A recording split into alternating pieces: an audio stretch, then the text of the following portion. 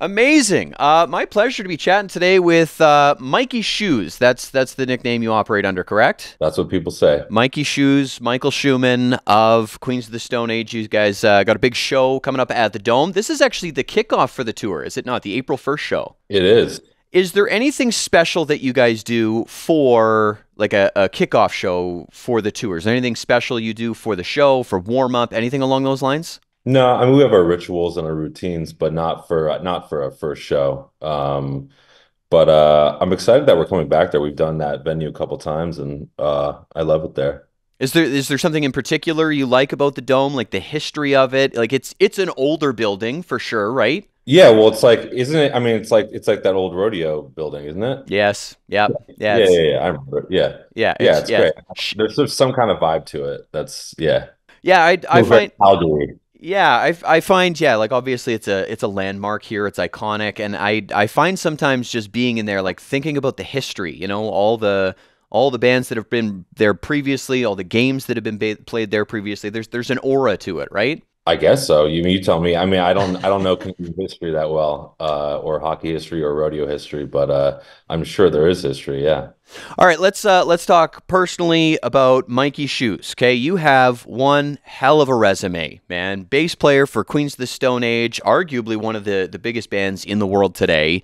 Uh, many many side projects and solo projects you've done: Mini Mansion, Wires on Fire, Jubilee. Most recently, GLU. That's Glue, right? That's right. Glue. And I've also seen that you were in The Wedding Singer. That's right. And how did that opportunity come to be? I mean, it was the opportunity of a lifetime, um, really. Uh, no, my uh, my my dad was uh, worked in film, and he was a uh, producer, I think, on that on that movie. And I was, I don't know, 11 years old, and uh, a little Jewish boy, um, and uh, I fit the part perfectly, obviously.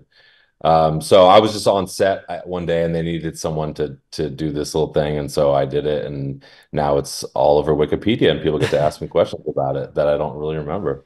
So, like, did did you get to meet Adam Sandler? Was was he as nice as he appears to be? Yeah, actually, um, I mean, I was so young, but you know, I started playing guitar when I was seven, and and my dad did this other movie called Bulletproof, um, and I think that was before Wedding Singer, and I ended up going into his his trailer, and we ended up playing like Beatles songs like together, and and like two days later, I got home from school, and my dad had brought home like just a little practice amp and this like like Epiphone Les Paul copy, mm-hmm. and Adam was like, I want him to have this. It was in, so he gave me that, and yeah, I still have it, I think, somewhere. I gave it to a friend, but yeah, it was really nice. you still you still have it. Well, somewhere, somewhere there's some It's connection. somewhere. It, it ex yeah, yeah, yeah, yeah. Okay, okay. And so, is this what kind of spurred on your love for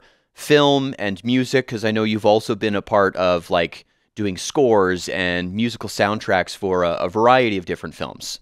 Yeah, I, I I just think I, as I've as I've you know done all kinds of music endeavors for so long, I think it's just it was another opportunity that I got into uh, as an adult to it's just a different avenue um, to create music, and it's a cool way to create music that isn't so I guess so close to you and doesn't represent you as a human being so much. You're you're making music for someone else or for a scene or for a character. And so I think it's a cool way to to create and get out of yourself uh, rather than like the daily grind of like making records and and being so vulnerable and, and all that stuff. So I think it's just a really cool um, other avenue for me, and I want to continue to do it as much as possible. Yeah, because you've a hard world to be in. It's a hard world. in what sense? I mean, there's just kind of there's just kind of like the John Williams and the Hans Zimmers and the, and there's like that echelon. And so to really like unless and I'm not like uh I'm not I'm not an arranger, you know, string arranger. So to get to that level is a whole nother thing. So to be able to create scores based on, you know, uh I guess different musical talents um is a tough it's a tough game. Um and I'm just I'm just figuring it out, you know. Because oh, you're yeah. you're a you're a multi instrument instrumentalist. You know, you, you play a variety of different instruments. Sure. So you know to to put all of that together into a score, you know, obviously difficult. But I, now that you mention this, it, it reminds me of I had a, a music teacher in high school, and he always used to talk about musicians having a third ear. You know, he'd be like, "Oh, you know, musicians always have like a, a third ear." How they can hear, you know, a different. Third ear is that like a third eye? Yeah, yeah, Sim- okay, yeah, right, sim- similar to that. And he always talked about how you know these these composers have this like this third ear that they can hear all of these tiny different little things. And the guys like you're mentioning, Hans Zimmer and and John Williams and stuff like that, they have this this third ear. They can hear one string that's that's out of tune four rows back in the in the the bass right? So to yeah. get to that is obviously uh, a big task. It is. I mean and and to know all the instruments in an orchestra and the different tunings the different you know timbres and and and how they all fit into a score uh and an orchestral arrangement it's just a whole nother skill and you know uh, it's a whole nother craft that you really have to learn. And, I, I'm not, I'm not trained like that. I'm not, um, you know, I, I, took guitar lessons when I was young, but I grew up on punk rock, so there's not I can do you know do that. And there's not too much overlap really. Mm. Is is that something you're working towards though? Like, would you like to you know continue to to build that aspect of your life, the the passion project of it, so to speak? I would. I would. I mean, I I get so consumed by what we do, Queens, and and you know, making records. And once we're on tour, I'm just pretty locked in, and it's it takes kind of all of you emotionally and physically. Like we talk about on tour, I start to feel bad that like I'm in whatever city and and I'm not taking in the sights or I'm not doing enough. But we talk about it and we're like, you know, it really does, even though it's subconscious, physically and emotionally and mentally, it you're building up to just playing that show that night. Mm-hmm. So it takes so much out of you. And I always I bring a rig on tour to create music, and I rarely end up doing much because it's just you give everything you got for those two hours that night. And um, so it's really tough. So when I get time at home and I get a break, I'll try to do it. But mm-hmm. um, yeah, this band we give everything to it, so it's it's hard. Well, that's that's amazing to hear, though. You know, obviously the fans are going to love that, knowing that like you're you're kind of sacrificing the stuff that you like you you can be really passionate about to to give everything you can in this thing that you're passionate about for the fans. You know, you wanna you wanna give it all for the show, right? Oh yeah, I mean, and not and not just that, but you know, we we give up being you know with our family and our friends to to get on that you know pirate ship and and and go out and and uh play for everybody. It, we, yeah we give up a lot but also it's like we we can't really do anything else. It's all we it's all we really know how to do and and it means so much and it and it gives us so much life. And um you know during covid I, I felt a little unlike myself. And until I got back on tour, I realized that's such a big part of me um, that I that I need. Um, so getting that back from the fans is so so important. It really is. Okay, let's let's continue to focus on the the Queens of the Stone Age stuff here for just a second. Obviously, got to be huge feelings for you to know that after you joined Queens of the Stone Age, um, that was when they finally, this when you guys finally had your first number one record with like clockwork. That's got to be a huge feeling for you. It was. Um, it was a surprise, you know, like when I joined, I was 21 years old. So I was joining a band that I looked up to immensely and was one of my favorite bands.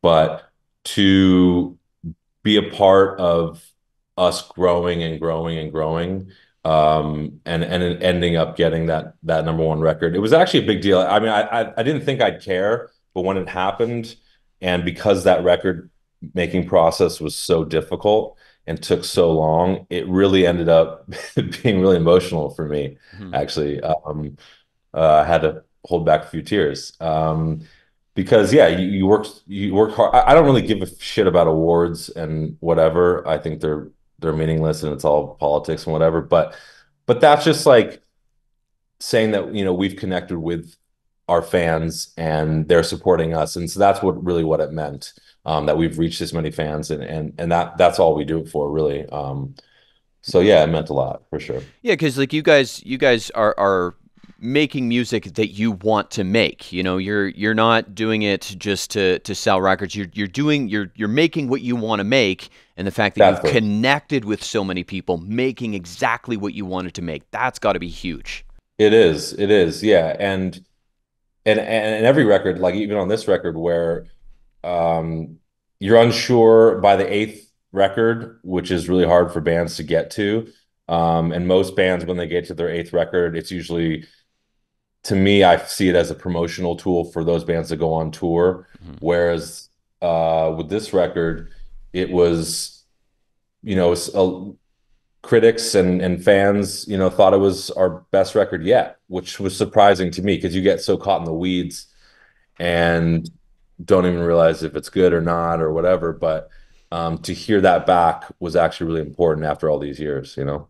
So how how involved are you and like the rest of the band in the the songwriting process and the the making of the record as a whole? Like is it is it like heavy Josh stuff or you know is it is it a full on collaboration with you guys and the rest of the band? We're there every day. Mm-hmm. We're all there every day, uh, making the record. Um, I, would say you know Josh is our leader. Um, the lyrics come from him you know they come from inside him. And i always think it's kind of strange to sing someone else's lyrics. Sometimes it feels like karaoke. I mean people do great covers and there's nothing wrong with that. But like i think for us you know it does come from josh. Um, but as far as the songwriting you know every song's different. You know some some you know josh will come in with a almost completed demo or he'll come up with an idea or we'll just be in a room together and start playing off of one riff and and um but I guess what we all do is whether it comes from Josh originally um we all put our stamp on it.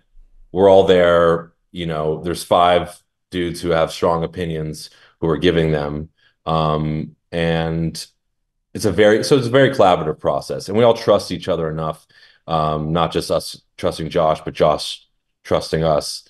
Um, and that's why we're all here because we're we're, we're like-minded, but all individuals. Mm-hmm. And I think that's what makes our records and these records so different than the, the, previous records, right? You can you can hear everyone's stamp, especially on this record. I think, especially John's playing on this record, I thought was really important. Um, but yeah, we're all very involved. I mean, yeah down to the last day. So, would you say that with this latest record, you know, you guys have almost found your rhythm? Because you mentioned that with like Clockwork, you know, the the process was a little more difficult, and you know, there was there was challenges you faced. So, would you say by this point you guys have have found your rhythm in in the writing process? Yeah, I'd say more so. Yeah, I mean, they're all awful and difficult to make, um, but uh, I think by this one, because the five of us have you know, John joined, I don't know, 12, I don't know, 12 years ago now, mm-hmm. 10 years ago. Um, so, but now that the five of us have been there for that long, I think there is, we just gel in a way that maybe we hadn't on the previous record. And so there is, there's an understanding um, about what everyone's role is. Um, there's a trust. And I think just the, the, the tribulations that we had to go through during making this record, I think just brought us all a lot closer together. Um, I know for me and Josh, um, and I've, I've, said this before, but you know, he was my older brother. You know, it's like I, we've always been extremely close, but but on this record, you know, me and him finished the record together, just me and him, the last like 35 days, and so we got even closer than we thought we could have, and so it's really and it's expanded um, to our touring and how our our shows go, and we feel like we we're in the best spot we've ever been um, as a unit. So you know, I never would have thought that, but it it it, did, and and it, and we are there now. Yeah. Okay, so based on your contributions to this latest record, uh, there's a regular segment I run on my radio program. It's called Dirty Little B Side what I do is I will play the latest single that has been delivered to us. Um, hmm obviously, that being Paper Machete. Um, hmm I'm curious. You know, it, it used to be that records were released or singles were released with a B side. Don't really do that anymore, but I, I want to give some, you know, some light to the deeper tracks on the record. So, is there a song that you think would be the perfect B side on this latest record to Paper Machete? Yeah, I, I mean, I wouldn't call it a B-side again, but I, I would say Negative Space is probably it's like chunky little sister, you know, it's like it's it, they they kind of go together. Um, they're different tempos, but they they kind of fit in the same world. So that's what I would say. Yeah. Okay. All right. I, I'll uh, I'll be sure to do that for you on Friday. We'll do Paper Right. Machete, and then we'll go into that for our, our dirty little B side. Is what we'll do. Sweet. All right. Uh, I want to say thank you so much for your time today. I really appreciate it. Mikey Shoes. Uh, be sure to check out the latest record from Queens of the Stone Age in Times New Roman, and be sure to check out the very first show on this upcoming tour, April 1st at the Dome. I'm going to be there. I can't wait. Can't wait to see you there. I hope everyone comes out. Yeah, we can't wait to start this Canadian tour. It was important to us to to hit all the Canadian cities, really. Hell was really yeah. Hell yeah, man. All right. Well, thank you so much for your time today. I really appreciate it. Best of luck with the tour. Thanks, man. Appreciate it. Nice talk. Cheers.